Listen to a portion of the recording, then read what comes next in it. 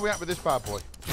Right, the reason that covers off is because she's been towed a few times. And actually, do you know what? In fairness to this beautiful car, the last thing it did was a track day. A track day of all things. I didn't take it out actually. I, I went to the Mission Motorsport track event.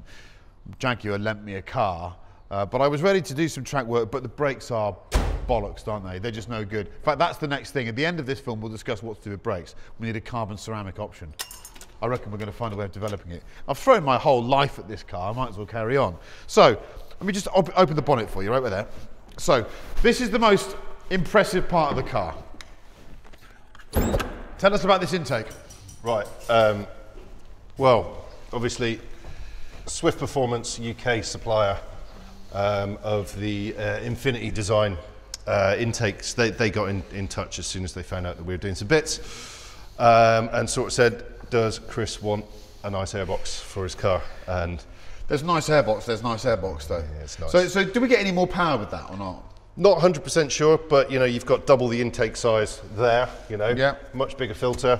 Uh, and the whole thing is, is one big plenum. So the whole thing should be breathing. Don't know in terms of power. Uh, I'm sure, you know, uh, Sal at Infinity Design, he'll be able to let you know. But I don't know the ins and outs. But yeah, shit, it's nice, isn't it? It's, I mean, it's beautiful, isn't it? it and it, it does sound. It's a, when I first heard it, I thought it's too quiet. Yeah. But now, after 500, 600 miles, in fact more, 1,000 miles, I think it's the right noise. Yeah. Because you don't want too much. Yeah. And intake noise is the future. Because Yes. you don't irritate other people. Ready? Intake noise is the future. Exhaust noise is the past. Exhaust noise winds people up. this is for your own pleasure. it's the difference between watching an adult movie from the privacy of your bedroom to displaying it on the side of the House of Parliament. You don't want to share those things with people. You do them on your own. Do them on your own. right. So that, that is the fanciest bit of the car. And even down here, there's a little sign there, though. I don't know whether you can focus on that. It might be a cutaway. There, there is a typo in there as well, actually. There is, yeah, I can see there is. I wouldn't go too close on it because uh, it does actually say uh, S58. It does, yeah. Not Of course it's a- S85. S85. but we like that. That means it'll be like that penny black that's the wrong that's the wrong shade. It's the most valuable of the lot. So bonnet down. I mean she's a bit rough around the edges. Everything is beginning to perish. So all the rubbers, for example, in between the headlights uh, and bodywork, they've gone. The front bumper's just it's just sagging. It's just it's it's drooping like a male ball sack over a tail. It's just sort of dropping down by a couple of mils every single week. But I'm not so worried about that. Let's start here. Can we can we can we stick them up? Yeah, absolutely. Right, Enzo, out of the way. That's Enzo. Get off the fucking ramp. we had an interesting discussion about there was a front axle noise.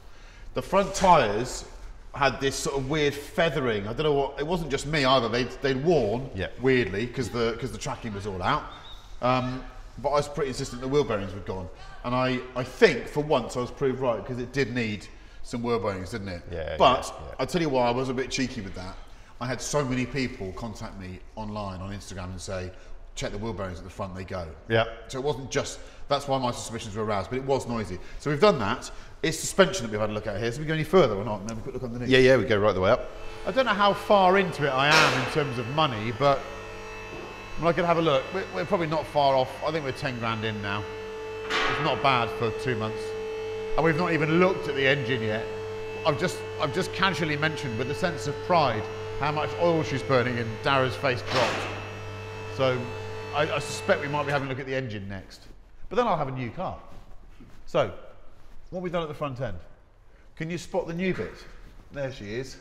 Now, I'd always been told that these cars were very expensive in terms of engine and gearbox. I hadn't stopped to consider for a minute that they're quite heavy uh, and they're going to have perished bushes. And because BMW is BMW, they don't sell the bushes. You've got to buy the complete arm with the bush, or you can try and buy an aftermarket bush. But we tried a bit of that, didn't we? Yeah, And no you good. Sort of lose some of the M5e appeal. BMW did a good job of sort of balancing performance with comfort, and I think if you go too far down the performance route, you wreck it. You can see how bad the tracking was because that tyre is completely lunched on the inside. Is that a new tyre? No, That- that's the old tyre, isn't It's not far off, to be fair. No. Um, so uh, that's the new arm there. That was both sides, wasn't it? Yep. That gave us some. That gave us our tracking back. Uh, but otherwise, it's quite. That's the rest of it. it is standard up front, isn't it? We've left it as it was. That's it. Yeah, Right. that's it. So have a look under here, Nilo. Darragh. So you tell us what you've done. Right. Well, I mean, so so bottom arm bushes absolutely There we've gone. rooted. Yeah. So yeah, we've done done both arms. We've done the top arms. Uh, you know, all, basically all the arms have either had been rebushed or replaced with all new bolts. Um, Is that is that common on one of these?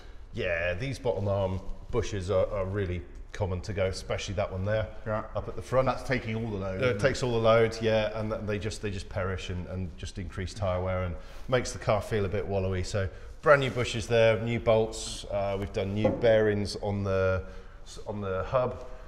Uh, it's just yeah, whatever we could, we've replaced it basically. What next on the chassis? It looks okay to me. I think we're getting a bit of a noise from this Yep. item here. Rebuild the diff. yeah. Yep, uh, Yeah. we can do that. Um, I mean, what else? Could put a nice spicy diff into it. You know, something a little bit different. Would you keep? Does it keep the same diff ratio or not? Yeah, keep the same ratio. Because actually, I found that there's a reason why it's seven speed and it's got the torque it's got. It's well matched. Yeah, But If it had one fewer gears, it wouldn't be the same car. Yeah, but you're also going to drink so much more fuel on the motorway, you know, cruising. if- Yeah, because it's if that's your economical already. It's it's it is a total shambles in terms of fuel. I think it does. If you're going, if you calm it right back, it does 14.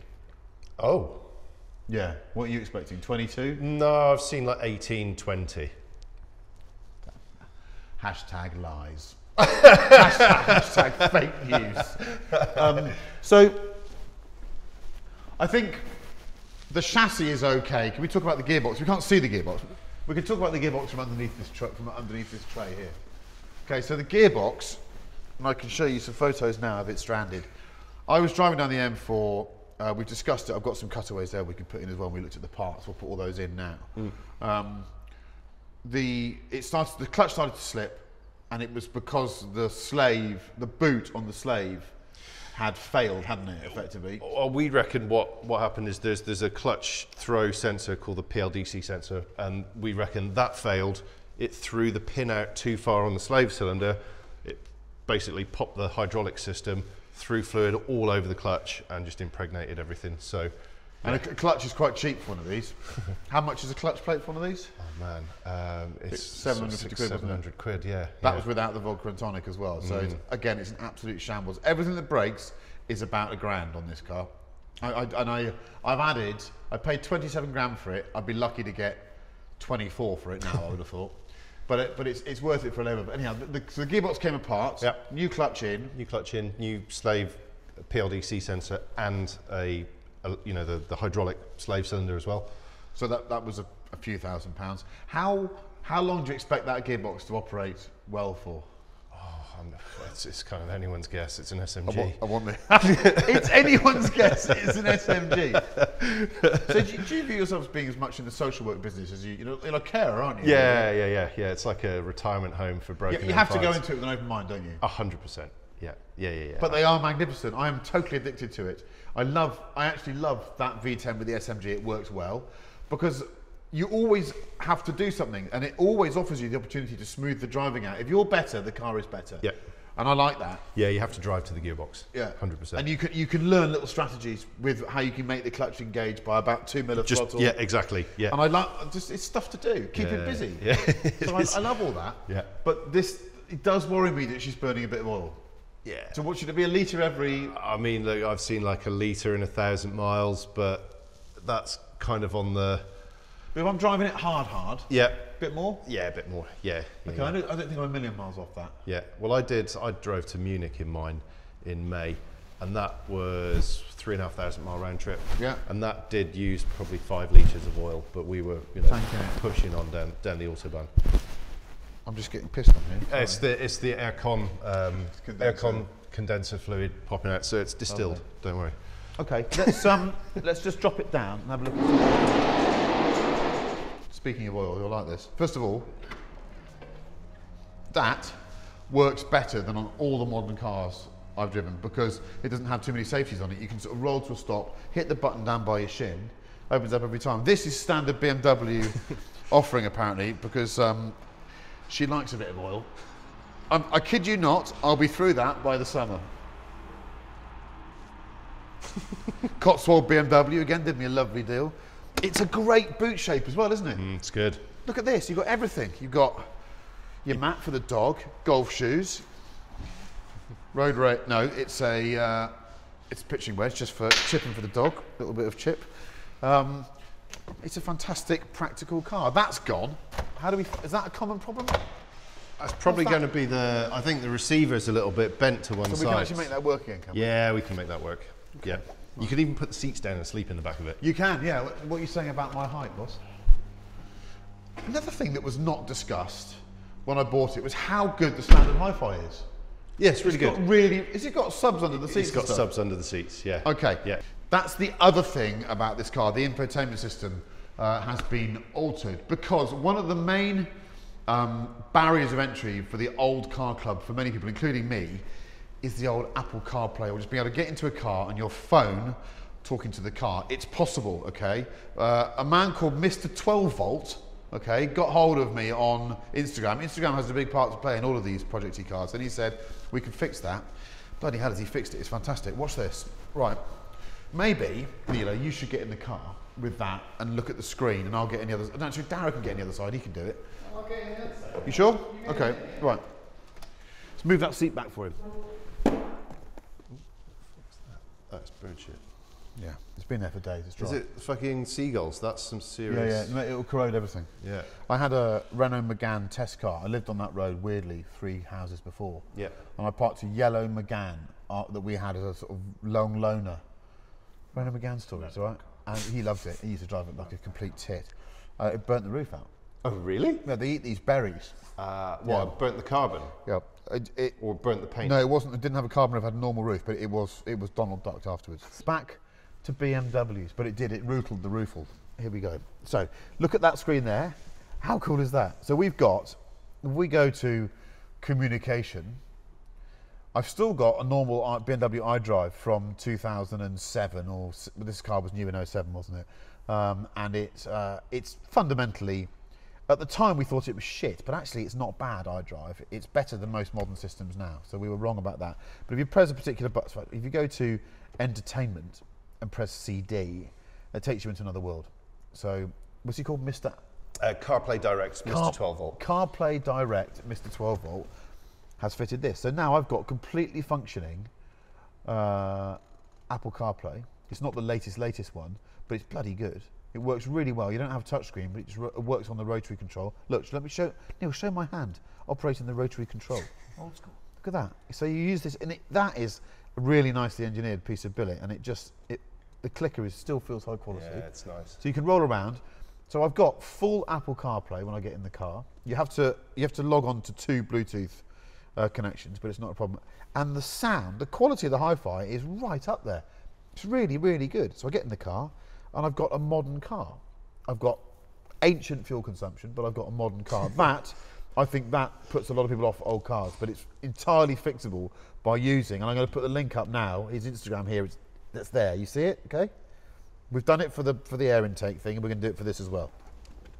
Um, the rest of it is pretty good. The cabin's fine. Uh, there is a bit of wear in places. I can't really do much about that. I think you just have to leave the patination uh, of a car as it gets older. I am still, and I've spoken to this man about this. I don't drive it on these. I still don't. I don't like them. I drive it on that, and I want to create a wand that comes out to about here. But you've still got to be able to access all this. So we, there's a, we are going to do it. okay? Yeah, we are yeah, going to do it. yeah. Because I think it'd be quite cool to have it. I want to pretend that I'm, you know, We've got Hans nice Stuck. old, uh, nice old DTM. Uh, You got it? Like golf ball. Okay, Yeah. right, we'll do it. Uh, aircon's good, and and actually these seats are they're a bit confusing to me. They, for me, were one of the reasons that put me off buying one of these cars because you'd see them advertised, wouldn't you? And that bolster always collapses on the outside. It looks terrible, but it's the best seat BMW's ever made. Such a good seat. I know, and I, So I, I didn't celebrate it enough. It's multi-adjustable, like I discussed on that first video, and everything works. All the, it's got the side bolsters that hold you in place. Watch this, Nilo. Watch this. You'll like this. I was playing with this with my daughter the other day. No, no, my son. Sorry. So I turn the. You have to fire her up. Oh, got to start the engine for this. Right. Watch this. Okay, so if I go to go back. I can demonstrate how good this is now. So I go back to my iDrive and I go, oh, menu, home. And I go to M Drive, seat back. Watch this now. Watch this bit here. Ready? Oh, it won't do it unless you go around the corner. Unless you move in. Yeah. No, no, I can do it with this. Oh yeah, it will hold you in on the on the side Watch controls. this. Yeah. How far that goes? It's like it's what that okay. What what that should say on the dash is not sport. It should say cuddle, because it is like having a big cuddle. You know when you give me those good night cuddles, it's like one of those. It's like that. It's lovely. So um, everything else about the cabin is is not too bad. I thought they'd it wear worse. Everything that had a sort of rubber coating on it, And that all goes. it's all gone. yeah. Yeah, on there on the door handles. But of, of all the old BMWs, where does this sit then for you? This is one of the ultimate cars that Do they've ever produced. Yeah, in touring format. Just it's so cool. You can do 180 mile an hour with the dog in the back. Yeah. I mean, not that you should, but you could. Not that I have. um, so, so, how much further do we go with it then? I think we've we've pretty much fixed. I mean, engine is the next thing. Isn't Engine's the next thing, but look, it uses a bit of oil. It just means it's a constant It? Oh, system. I need you to have a good look at my ring. At your what?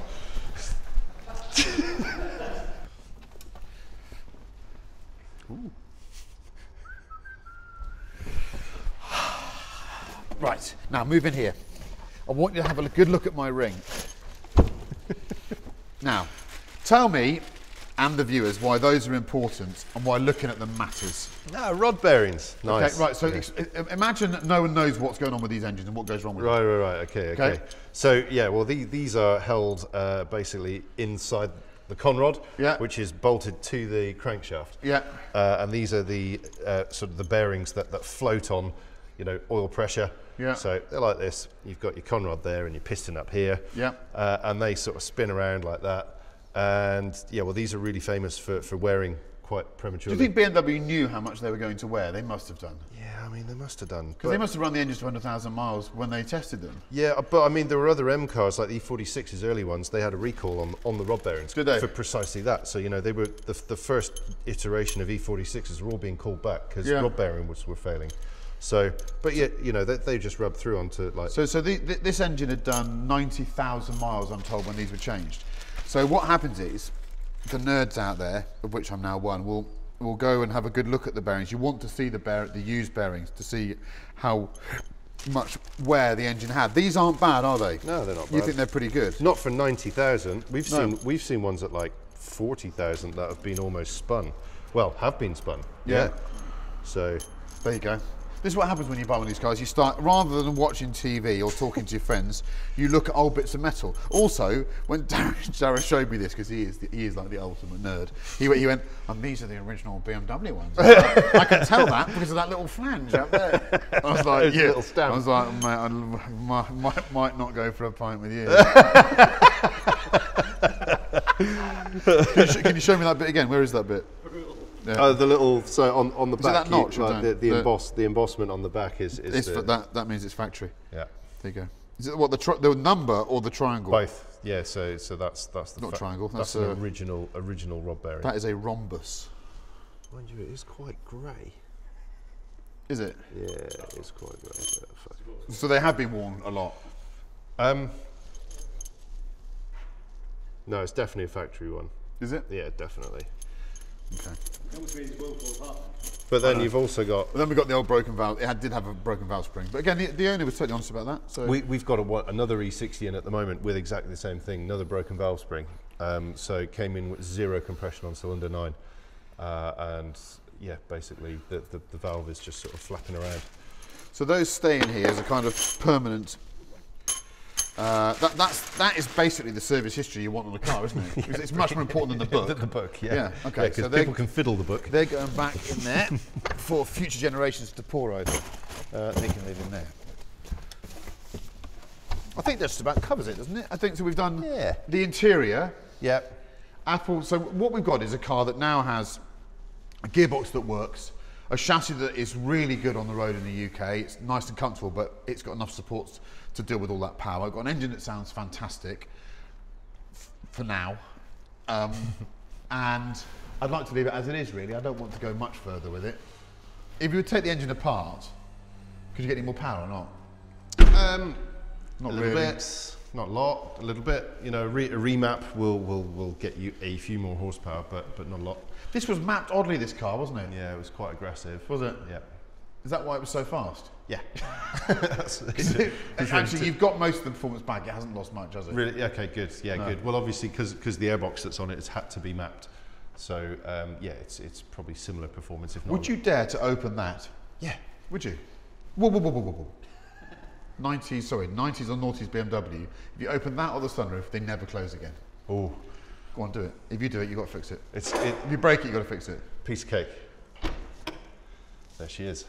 What, and you're telling me, you can see where that's, look, you can Yeah. see where that's already had a go in itself. Yeah, but that's all right because what that is is you've got a little little spike. I there. know, but I had, a, So basically, I know, but I had an E34, Yeah. and it never worked properly. oh, okay. Go on. That's risky. Sunroof, you'll like this. don't, don't touch that. It's Right, raining. no, you'll like this. You'll like this. Sunroof. I haven't got it here. I was so concerned about the sunroof Yeah. that before I opened it, I went, I went and bought a tin of oil so that when I opened it, I oiled everything to make sure it would close again. Yeah, But- and okay. it's, it works now. It's normally little micro switches in there, and there's like anti-trap switches and all sorts in there. So, uh, so should I not use it? no, use it. Just not on a rainy day.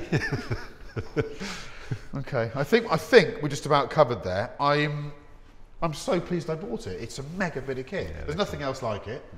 I could have had a new E63 or an RS6 or something, but my calculation is this: if I can get two years using it quite regularly before it goes badly bang, yep.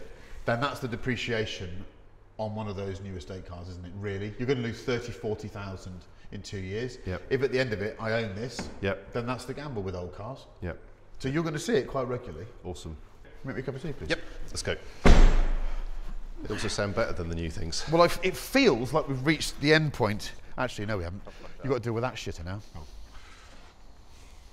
Yeah, you see, you thought it was over the BMWs, but the E28 is also being recommissioned, and that, that was in a shambolic state. But that is another video.